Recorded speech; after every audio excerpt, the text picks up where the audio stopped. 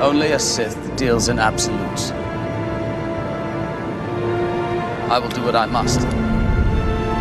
No, you see, no, you see, I'm talking facts here. I don't do if buts and maybes. I do absolutes. and you know, like if your aunt had balls, she'd be your uncle, but she doesn't, so she's not. Do you know what? I, do you know what I'm trying to say?